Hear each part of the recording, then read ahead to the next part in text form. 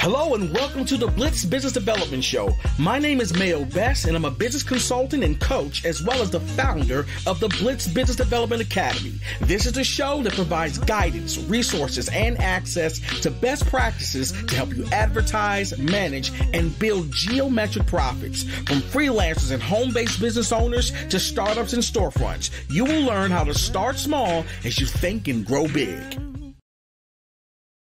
Hello, folks, and welcome to the Blitz Business Development Show. I am your host, Mayo Best, and today we're going to dive into the topic of how and why to write your first book. Now, I know previously during the season, we actually had this topic up, but was from a different sort of angle, and we really discussed more about becoming a bestseller. And that was when we did the show with Miss Divya Parekh earlier in the season, but this time I wanted to revisit this again because I know how powerful it is to write a book and establish yourself in the marketplace by doing so. So I have another guest today, and what we're going to actually do is approach this from more of a novice, more of a beginner's perspective.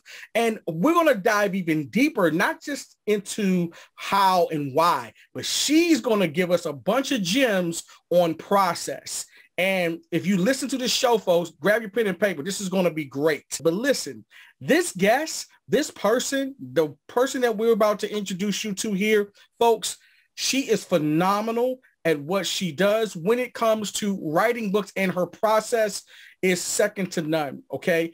And not only that, you're going to be working with someone who really understands both the corporate and the entrepreneurial side of your mindset in terms of how to write a book and extract what you need to get out of that process to make it successful. So let's buckle up and let's dive in.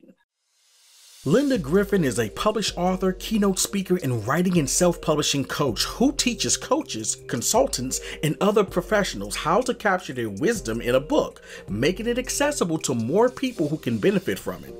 In the process, her clients increase their authority and thought leadership position in their chosen markets. Linda developed the Author Fast Track program based on her experiences in writing and publishing a book. She takes people from idea to book in hand in as few as 90 days. All right, folks. As I pretty much have promised, we have an extraordinary writer with us today. Writer, author, speaker extraordinaire. And she is going to bless us, folks, with a ton of gems, as you know I like to say. So without further ado, you know what you're supposed to do at this time. If you've got that pen and if you got uh, that paper, grab your bag so we can catch these gems. She is going to share with us a lot of wisdom and a lot of her expertise. Now, I'm going to tell you guys right now, if you are looking to take your business to the next level, all right, what she's about to talk about, you absolutely want to do. Now, I will be honest, it is something that I'm working on myself, but I do know the power of it. And that's why she's on the show today. Okay, so folks, without further ado, we have Miss Linda Griffin with us. And Linda, how are you doing, ma'am? Hi, Mayo. I'm doing wonderfully. And thank you so much for having me on the show today. Absolutely, absolutely. Look, we're going to dive right into it. We have okay. a lot to cover. So let's start with this. Where are you originally from? Okay, I am originally from uh, Alabama uh, home of Auburn University Tigers, and uh, graduated from from there. And uh, and then uh, right after that, right after I graduated, I, um, I, I was hired by IBM, and so I moved uh, to the DC metro area. Okay. And uh, as part of my corporate career, I moved around a lot. You know, IBM used to mean I've been moved, and I okay. was. So I, have okay. lived all up and down the the East Coast and okay. I, and then surprisingly enough settled back into the DC metro area, which is where I am now. Okay. Well, you you said the DC metro area. For those of us that are from this area, we want you to properly represent where you are from. where exactly? Okay. I am in I am in Northern Virginia. Okay. Specifically Ashburn, very close to Dulles Airport. If any of your fans uh, travel to the DC area, I'm mm-hmm. quite near the airport. Okay, all right, VA. That'll work. That'll work.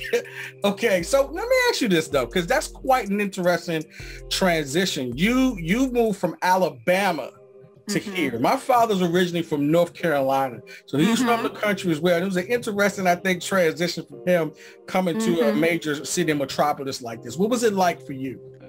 Yeah, it was quite an experience and, and more so from a culture standpoint because, uh, you know, in the South, you don't really start talking business immediately. You mm. talk about the weather, mm. you talk about the family, you ask how people are doing. And when I moved to this area and took a phone call, it was immediately jumping into, okay, what was the business of the day? right. Mm. And so that was a, a big culture shock for me, having come from an area where you that was very uh, impolite to do that. Mm. So, okay, can you talk a little bit more about Alabama though? I'd like to hear more about that. What was it like growing up in Alabama? Well, you know, it was it was quite interesting because uh, you know I grew up in the you know in the 70s, 60s, and 70s, and it was still um, you know the South was still not 100% integrated. Uh, you know, I went to a an all black elementary school and all black high school, mm. and uh, so I was had quite an insulated childhood. Mm-hmm. And um, when I went to college to a major university, even though it was only about an hour's drive away, it was a world away, right? Because it mm. was uh, a predominantly white institution. At the time, they had about I don't know, like 25,000 students hmm. and 200 of us were black. and so, wow. so it was, uh, you know, it was quite an interesting experience to be in a huge auditorium, let's say in my freshman classes, be the only black person in the room. And when the instructor called the roll and mm. called my name, he looked directly at me. How would you know in a class of 200 that right. that was me, right? Right. So yeah, but I, but I actually had a lot of fun uh, at the university. Even though it was a small community, we were all very close knit, and uh, and so we had a lot of had a lot of fun, and and uh, it was a great experience for me. Did you have brothers and sisters? I do. I do. Yeah. In fact, I'm the oldest of four. Okay. And uh, people always ask about my leadership experience. And I said, well, I've been a leader all my life because I'm the oldest of four kids. So I bossed them around their entire childhood. right. and that was good training for me when I became in a leadership position. mm, interesting. Okay. So what do you think, if anything, uh, about your childhood that actually influences the work that you do now?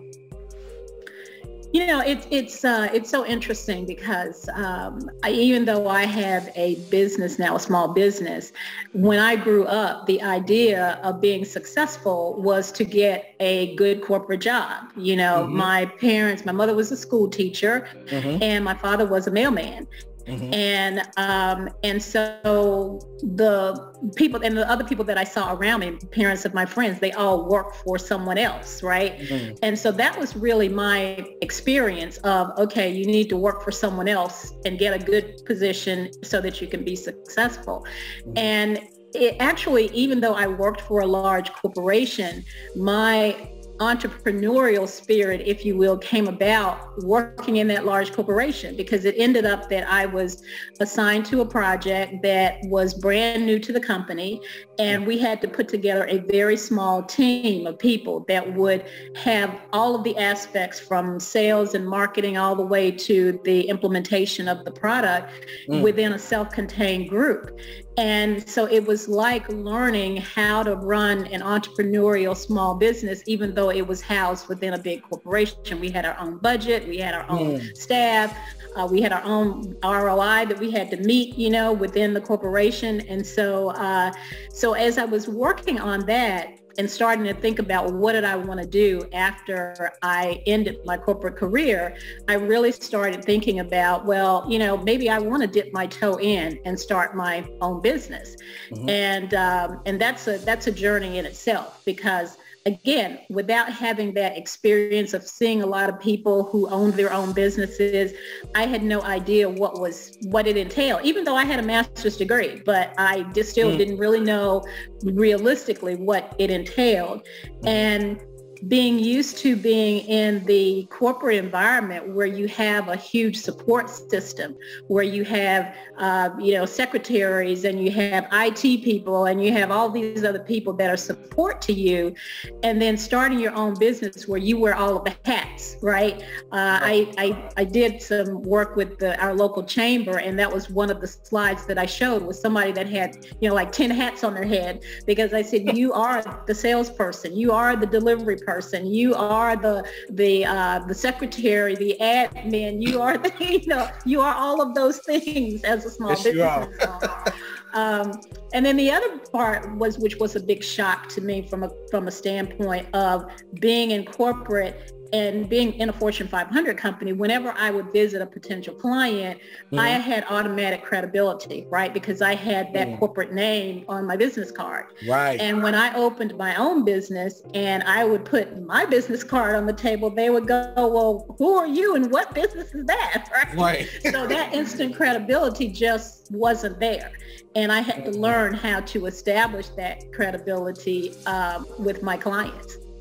That's interesting it's, it's all for those that don't know for some of maybe the younger mm-hmm. uh, audience members you know ibm was a huge company you don't right. hear about ibm as much today even though right. they are still around right you hear about the google stuff but I, before yes. google even before microsoft Mm-hmm. IBM was huge. Right. So right. that's interesting. So in a lot, and the reason why I say this is interesting is because not a lot of folks are able to always switch from the corporate, right. you know, right. mindset to the entrepreneurial mindset, right. which is right. totally different things. Absolutely. Um, so it, it, that honestly is interesting because now, do you think that that had more to do with the fact that even before you started in the corporate, you know, in, in, in corporate work, that you already had more of an entrepreneurial mindset before you got there? Based off of your upbringing, what you were exposed? Well, yeah, you know, based on my upbringing. And here's the thing. I, I looked at my corporate career differently than a lot of people do.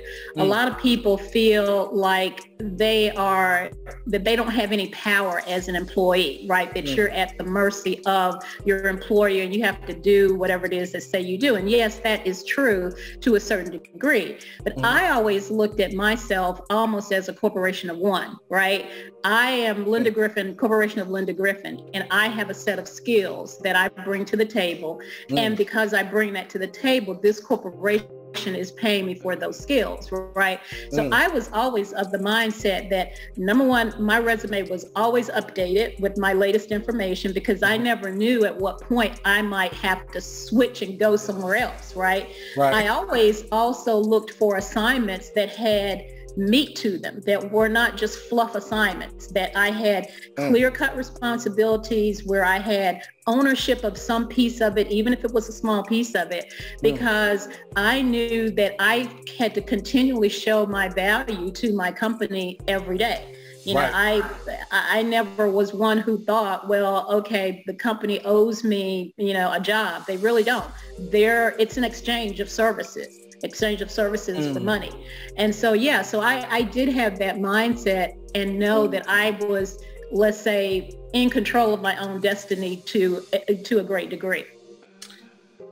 Okay. So, you know, for some of y'all that didn't honestly catch that, what she just showed you was that's a value centric mindset that she has or had even as an employee Mm-hmm. Which honestly, if you have a value centric mindset like that, which will make you a go getter, mm-hmm. okay, it will make you uh, someone who's already going to be accountable. Mm-hmm. All right. And it will make you somebody that's not just accountable, but responsible and understand right. why you why you have value in the marketplace as right. opposed to some of the things that I see today where people just want what they want, but not right. necessarily because they're bringing more value to the table. Right. That now I get why your transition mm-hmm. wasn't that difficult to make because mm-hmm. people don't really realize that that's exactly what you must have to be right. even even in the runnings of being successful as an entrepreneur.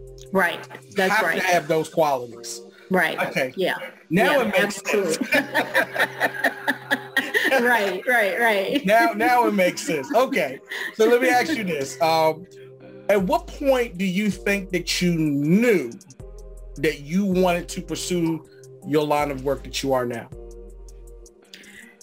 Well, I'll tell you, it came about very in a very long and winding road right because when i when i first opened my business i was looking at what were the skills at that whole value proposition right what were mm-hmm. the skills that i brought to the table and one of the things that i brought to the table was being very successful as a female and a minority in a male dominated company right? right and i felt like okay i could help other people with that other females in corporations and so i became a coach a business coach mm-hmm. for uh, females in business mm-hmm. and even though i liked that and it was great fun it, there was something missing for me. I, I, just felt like that wasn't really the calling.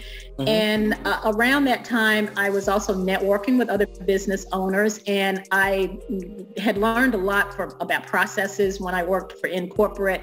And I thought, okay, well, maybe this is an area for me where I can help small businesses tailor processes to their environment as opposed to a bit what a big corporation would do. Again, with that limited staff, but you can still put processes in place. Right. And I did that for a while, and that was great because I was helping small businesses, but the problem with that was that I had to learn a new language every time I got a new client. So it would be office products one week and it would be accounting the next week. And, uh-huh. you know, and I was like, oh, no, this isn't really it either. and around that time, my friends would laugh at me because they would say, okay, Linda, what business are you in today? Because every time I talk to you, you're in a different business.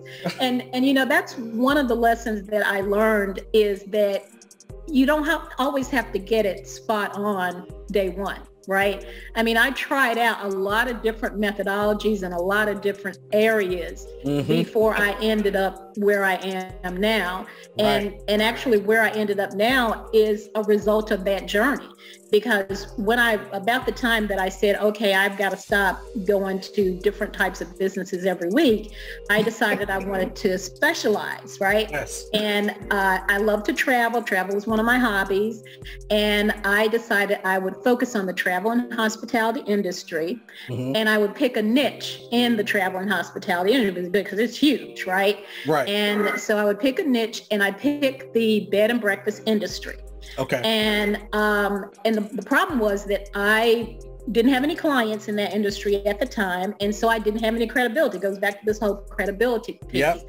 and my my business coach at the time said well you know the best way to establish credibility is with a book so why don't you write a book for the mm. bed and mm. breakfast industry and that became my first book now that journey of writing that book was interesting because I decided I wanted to launch that book at the big industry conference for all bed and breakfast, right, which happened mm. once a year in January. Okay. Well, it was October of the previous year when I, I decided I was going to do this. So I literally had about 90 days to get a book written and published. Right.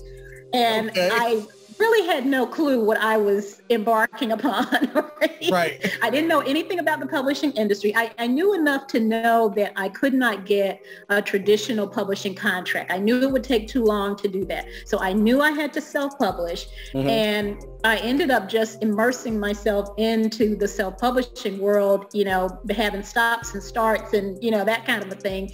And um, eventually I did get it. I got that. I, I, I joke and I say the ink was wet on the books, but but I, I launched that book at that conference. The book is called Maximum wow. Occupancy. And that book opened doors for me because I had a marketing plan going into that conference where I was going to give away a certain number of books to key mm-hmm. people. And, um, and that book ended up helping me to become an authority immediately in that bed and breakfast industry. Mm. You've disrupted my my process because you uh, we've got to go back for just a second before we go sure. forward sure to something i think is so key for people that are struggling, because I have to, I have to admit, I've gone through all of the stuff you've mentioned. Mm-hmm, and mm-hmm. one of the most annoying things, and I'm going to say this for those folks out there who've got family members that may be listening mm-hmm. to people that are actually trying to do this. The most mm-hmm. annoying thing you can keep telling an entrepreneur is what business are you in now? yes, right. Uh, right, gosh, right, it used right. to really upset me. Because the thing is, is you knew that you're that you're on in a process mm-hmm. of like weeding things out and figuring yes. out what works and what doesn't. Yeah. Through the outside looking in, people yeah. are not going to understand that process unless right. they're already on the same journey. That's correct. That's correct. And so this, this is just to you all out there that are struggling with that. if that's where you are, she is so right. It takes time to really, I mean, I'm, I'm 45 and honestly, I can't say how much things are full circle, but it's like when they come back around again, and you're a little bit more refined and seasoned and have even more skills, even mm-hmm. the things that you did 20 years ago, when you go to do them again, it's just so much easier. Yes. You're so much better and you just get really comfortable. Yes. And right. so don't don't fret, don't quit. yes, don't quit. Don't quit. That's right. Hang it, it, there, guys. A journey. It is a journey. And and the first thing you do may not be successful. That's the other thing is yes. that we and especially in America, we tend yeah. to think that if it's not successful right off the bat, then just abandon it and move on. And, right. and that's not really true. It, it, you're going to have some stops and starts. You're going to take a couple steps back you know, when you take a step forward, but just keep plugging through. And yep. as long as you're learning from those backtrack steps, it's right. still all good. Right. And you know what what I say about this too is one of the, the the smartest things you can do is that you have to learn how to uh, reframe your entire definition in most cases of mm-hmm. what failure actually is. Right. Because right. as soon as you start reframing your your concept and your methodology around what failure is, right. You honestly can't do anything but succeed. Right. Right. But that's a process and that does take time. But again, you will learn it guys as long as you don't quit.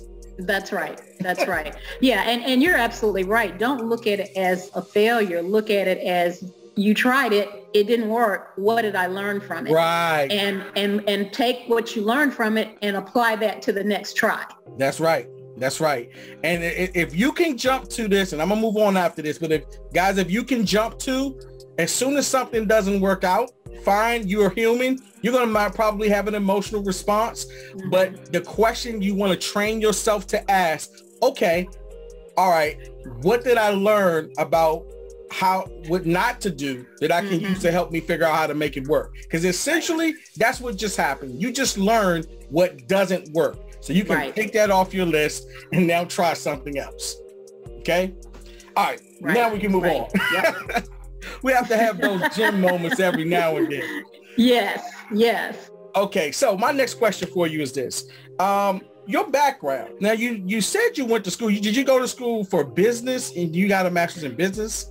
Or uh, well, yes, I got a master's in business, but I went to school for. I, I was a mathematics major. Oh, um, okay. I, I yes, I was a mathematics major, and I like to say that I use my left brain for most of my life, right? Because of the okay. math major, I joined IBM uh, right out of college and I was in the computer science field, technology field.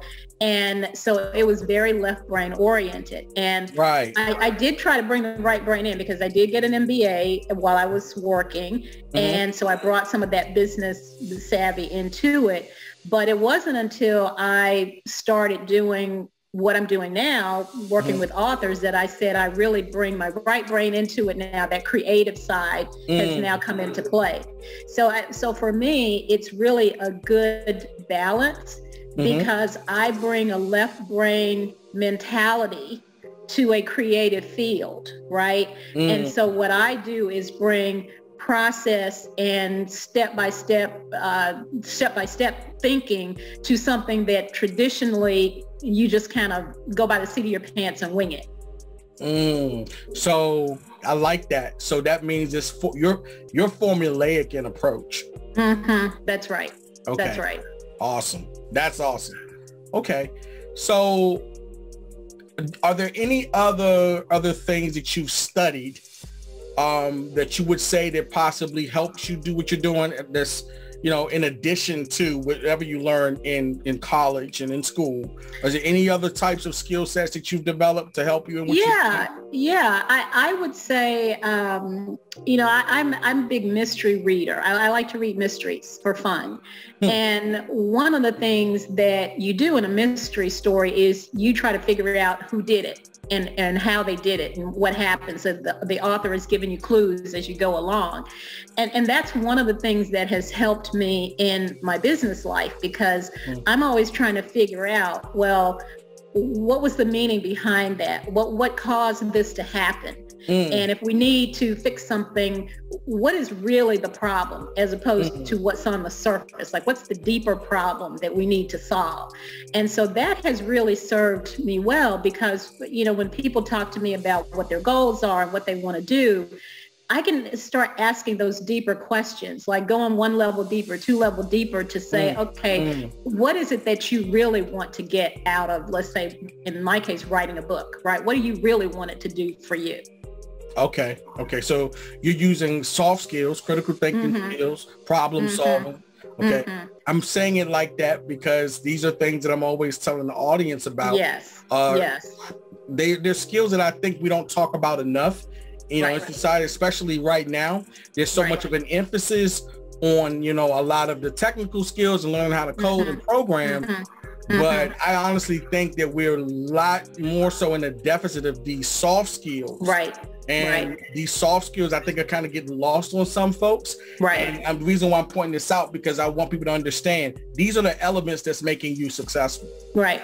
And and the other thing I would say is curiosity that has hmm. served me really well. Being hmm. curious both about what the issues are as well as about with my clients. You know, um, mm-hmm. a lot of times when, and it doesn't matter what business you're in, but your clients are coming to you to help them solve something, right? Mm-hmm. And a mm-hmm. lot of times they won't be able to articulate exactly what it is you know, they'll have like a surface answer when you try to say, well, you know, you can try to figure out whether your products and services will help them or not.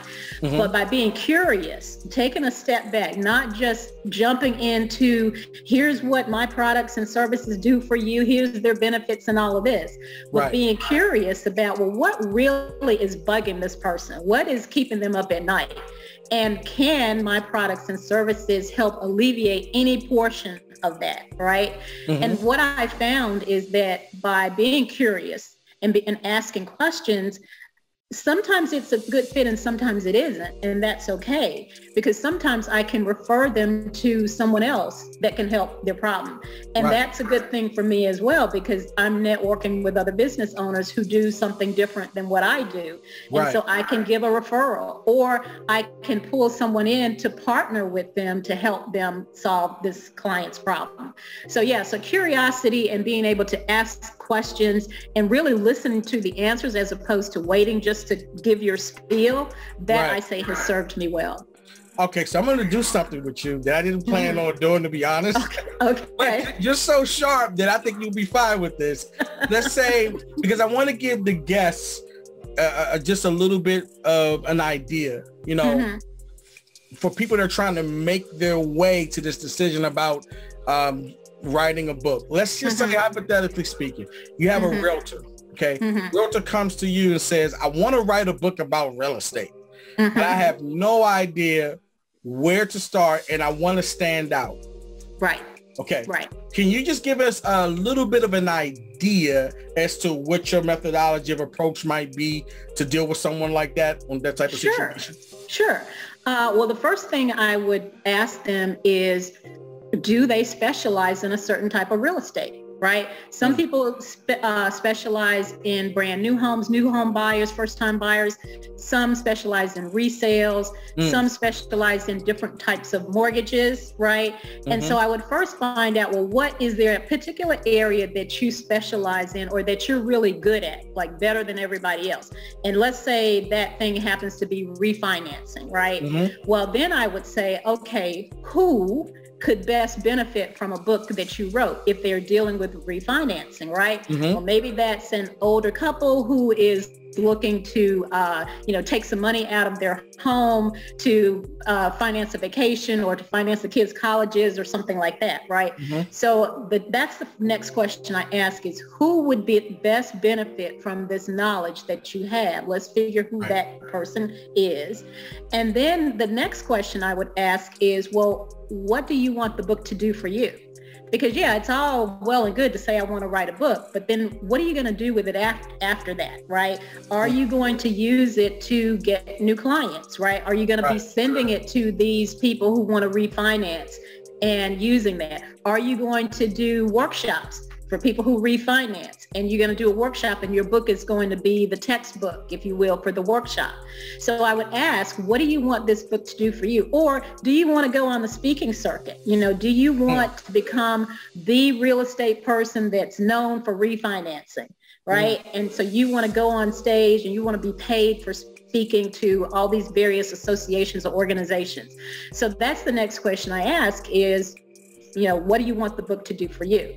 And then we, once we answer those questions, then we hone in on what is the biggest problem about refinancing that these people might have, right? Mm, right. Because you can't put everything you know mm. in a book about even that narrow topic because people right. don't want to read that kind of a book. People don't want to read a 300 page book anymore. They want to read a small book that solves a specific problem. So mm. then we hone in on what area of refinancing do you want to target this book? Is it how to get approved? Is it what to do with the money? You know, is it how to fix your house up so that you can get uh, refinance? What area do you really want to focus this book on? And that becomes then the start of the rest of the process. Wow. See, I knew you was going to be able to handle the question. okay, so she over-delivered on that answer. Thank you so much. Not only did you over-deliver, you took like two or three of my other questions and answered those too. okay, all righty then. I love it. I, I love it. Deliver. I, I love it. Okay. So, all right. So let's got let's get into this. Mm-hmm. I'm a business owner, right? Mm-hmm. You just completely sold me on, you know, the fact that I can write a book and yes. what that topic should be. But I'm yes. still on the fence right now. Mm-hmm. And what I want to know is, okay, do I want to take the time? Do I want to take the, the, the money and, and all mm-hmm. it's going to take for me to actually write a book? Do I want to go through mm-hmm. this what I make what I'm thinking may be a daunting experience right. to do all right. of this? And then if I do it, then what? So for right. those folks who don't really necessarily know, um, mm-hmm. um, maybe why it's worth it to mm-hmm. to put that that time investment and that monetary investment into making this happen, can you let us know why we sure. might want to consider that? Sure, absolutely. Uh, and, and you're absolutely right, Mayo. It is an investment both in time and in money to get a book written.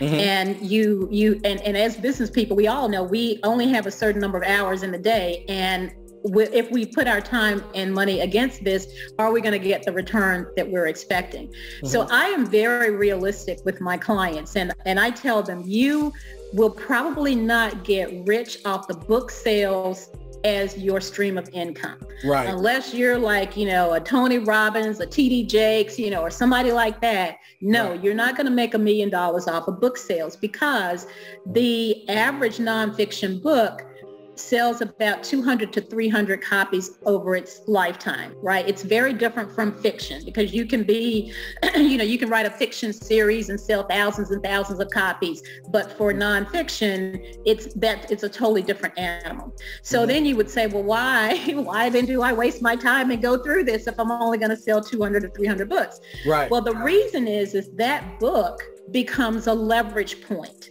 okay I'll go back to my own example as I talked about the uh, the bed and breakfast book.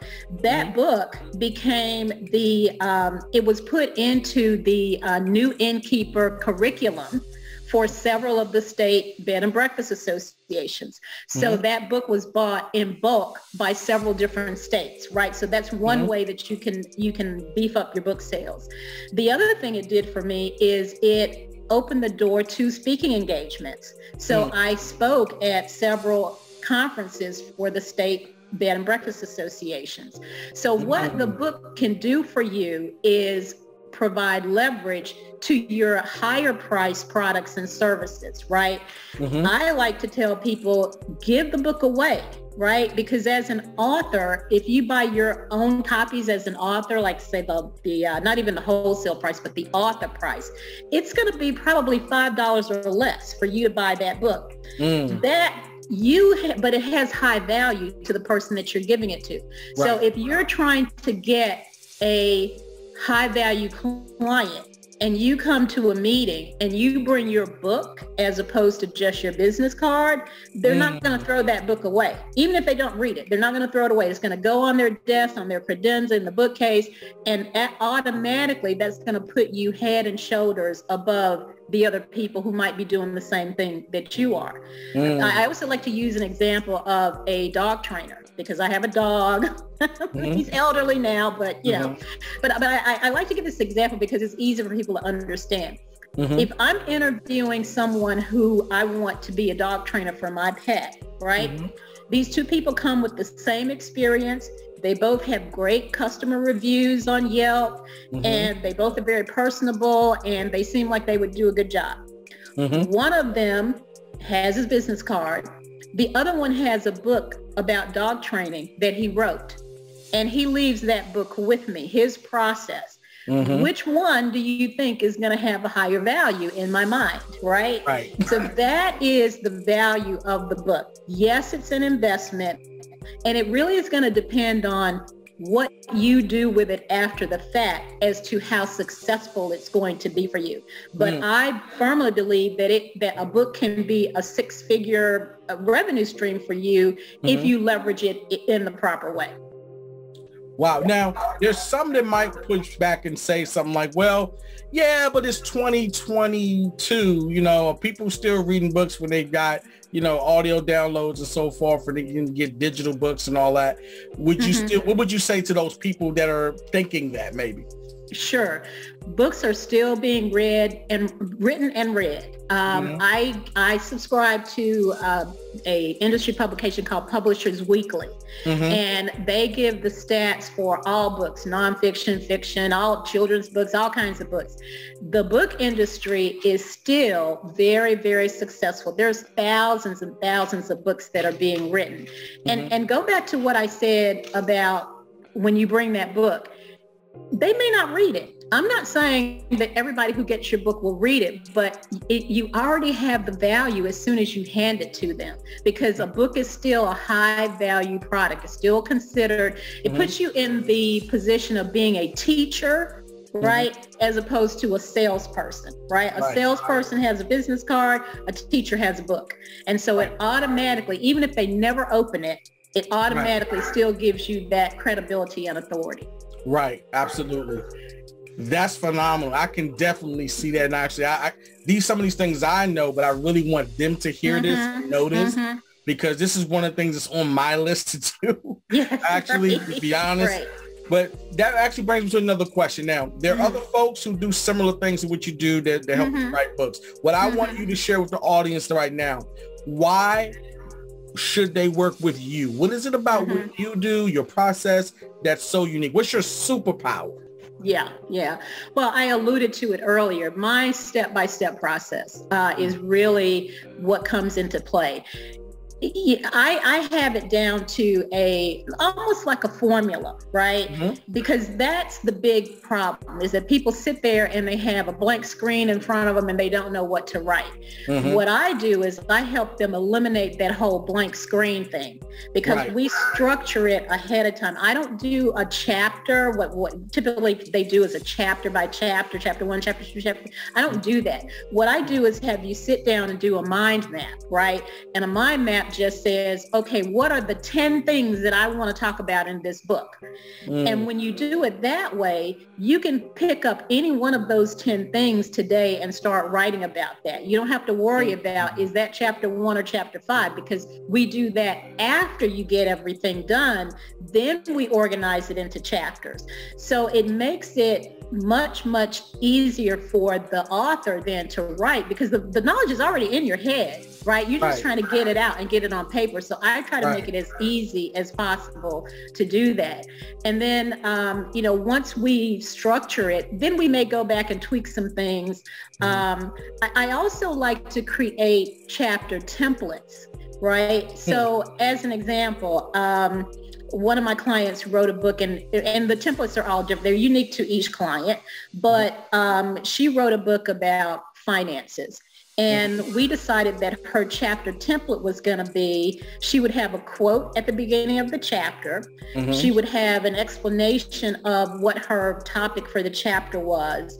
And mm-hmm. then she would have questions for the reader to answer at the end of the chapter, right? So that was her template for each chapter. So now, now that you know what the template is, you pick up one of those topics to write against and you know, okay, what's the quote for this chapter? What's the meat of this chapter? And what are the questions I'm going to ask at the end? Right. So again, it makes it easier for the author to actually get all of that information out.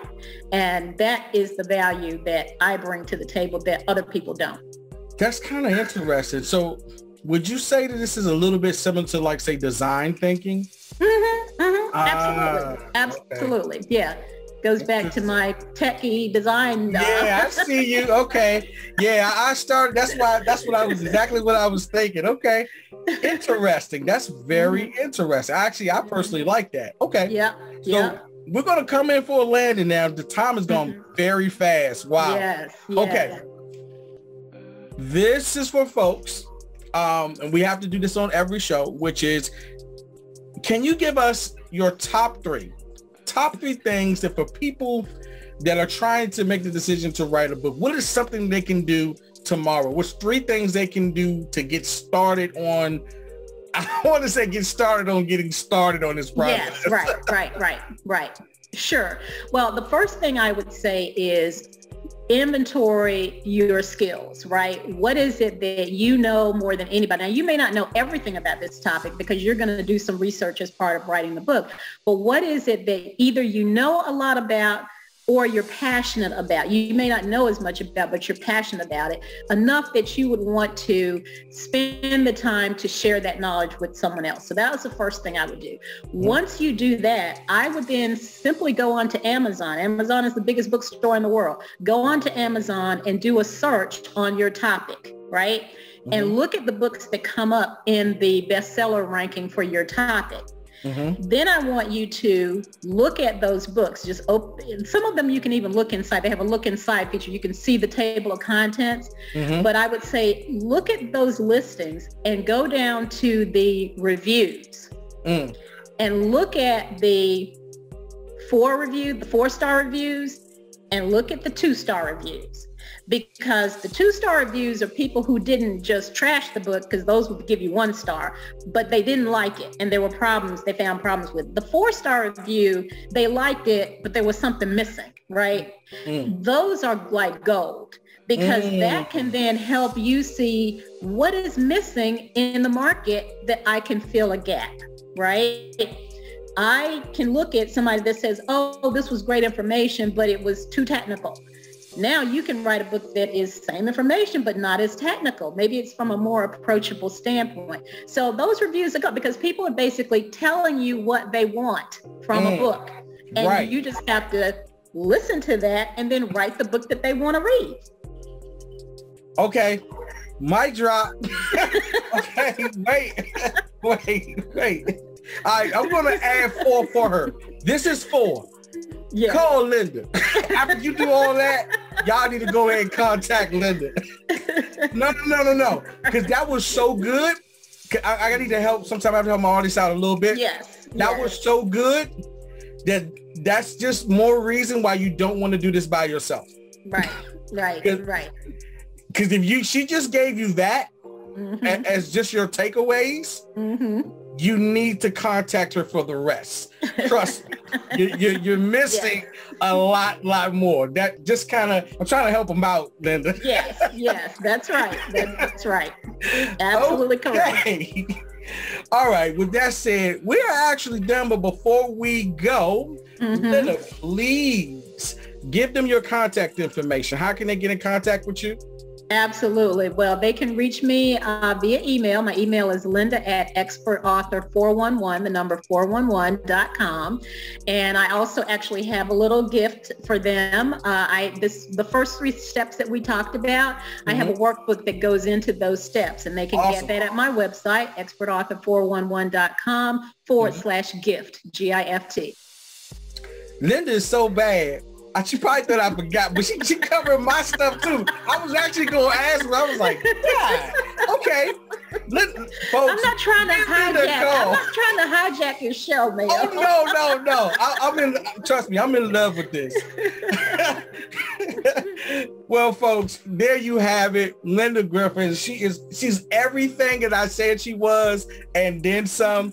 You absolutely, folks. If you're going to embark on this journey like I always tell you guys, get some help. I try to put the best people on this show to help you do it.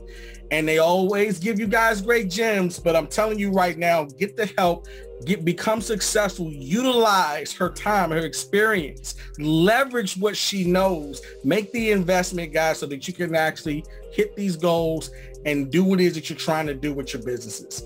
Until next time, folks, take care. God bless. Linda, thank you so much for joining us. It was my pleasure, Mayo. Thank you. Thank you. And we will see you in the next episode. Take care, guys. Bye-bye.